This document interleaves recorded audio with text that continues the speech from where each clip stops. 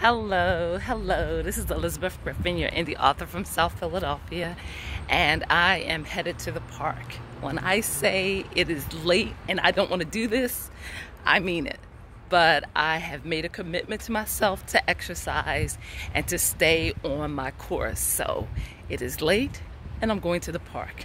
And I'm going to do a little jogging and I'm going to work on my arms. Uh, for those of you who may not remember, the park near my home has built in weights in the playground.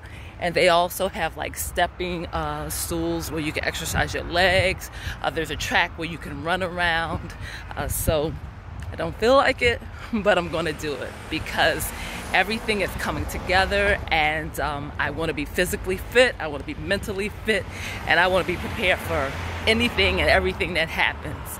Uh, also, update YouTube is shocking me. I am getting subscribers daily, and thank you, thank you, I appreciate that. And then also, uh, YouTube offered uh, me the opportunity of changing my URL num- uh, number to an actual name. So it is the Black Romance Writer, and I found out that I can live stream. Uh, I have over 50 subscribers, well over 50 subscribers. So uh, I haven't reached a thousand yet, but thanks to you, I will be shortly. However, I'm able to live stream, but I've decided to hold off on doing that until I reach a thousand subscribers.